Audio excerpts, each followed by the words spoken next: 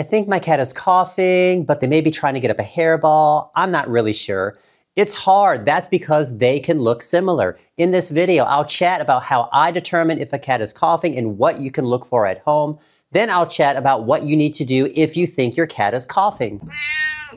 Hi everyone, I am Dr. Ask. Some cats cough so hard they vomit. Other cats who have a wet cough sound like they have something caught in the back of their throat. They swallow after coughing, making you think they have a hairball. So how do I determine if a cat is coughing?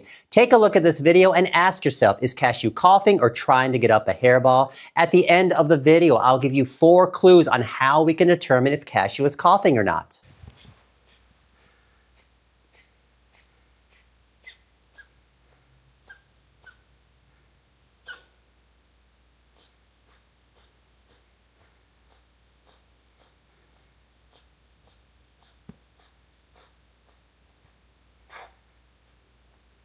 Your first clue is nothing comes up. Cats are great at vomiting. So if your cat has frequent regular hairballs but you don't see a hairball, your cat is probably coughing. The second clue is to look for a change in your cat's breathing like shortness of breath. Does your cat get tired easily after playing or running around? Is your cat breathing fast? Maybe you hear a wheeze, which is a high-pitched sound almost like a whistle as your cat breathes. Or maybe you hear a honking sound, which is characteristic of a dry cat cough.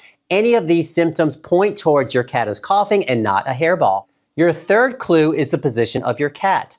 Cats that are coughing stick their head out to extend their neck, they crouch down low, and sometimes stand with a wide stance up front to widen their chest so it's easier to breathe. Your fourth clue is your cat has symptoms related to their respiratory tract, such as sneezing, discharge from the eyes and nose, red irritated eyes, or a fever. Before we watch that video again to determine if Cashew is coughing or not, make sure you subscribe to my YouTube channel to stay up to date on all of my cat content. Leave a comment below to let me know your thoughts, and don't forget your cat fact at the end of this video.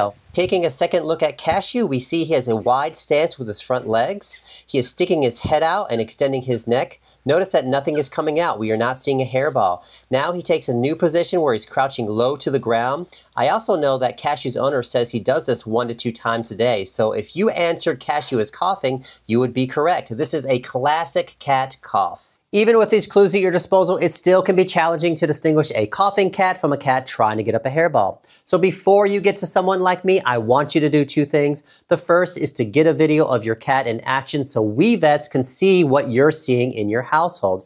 I know it's hard, but have that smartphone ready in your pocket. That way your vet can confirm your cat is coughing to get started on the right foot with diagnostics and treatment. The second thing I want you to do is to think hard about any changes in your household, maybe a few days ago, but it could be as long as a few months ago, specifically something in the air and write them down. Think of coughing as an allergy in your cat's lungs. Your cat breathes something in that the lower airways in the lungs don't like, they react to it and try to get it out. We are looking for anything in the air that may be triggering coughing, like a new litter, air freshener, essential oil diffuser, anything that can generate smoke, like a fireplace candle, cigarettes, hairspray, cleaners, fabric softener, laundry detergent, mold or mildew. Maybe you just dusted or opened the windows in the spring.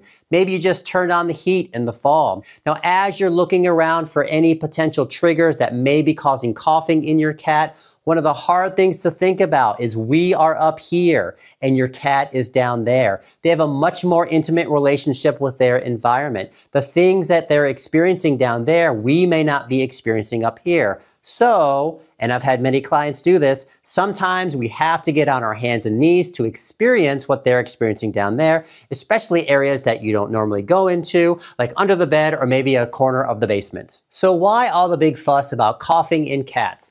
That is because coughing is rare in cats. Now, if your cat coughs once every few months and is healthy otherwise, probably not a big deal.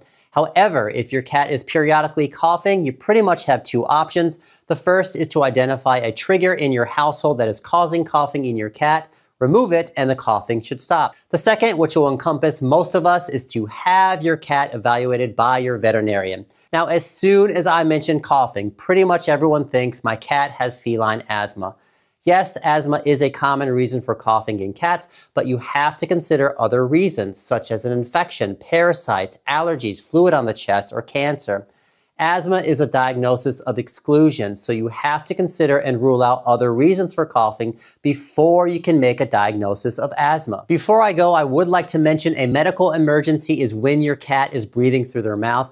Cats hate breathing through their mouth and only do so when they have to. Now, this is going to be different from when your cat has a stinky face where they smell something and open their mouth a little bit. In case you didn't know, that is one of the ways they smell. So if your cat is breathing through their mouth longer than the typical stinky face, take your cat to your vet as soon as possible. Thanks so much for watching. Be sure to check out my other cat videos. And now, here is your Cat fact. Why do cats meow? Kittens start out making sounds like meowing but soon stop. A cat's meow is strictly to communicate with humans.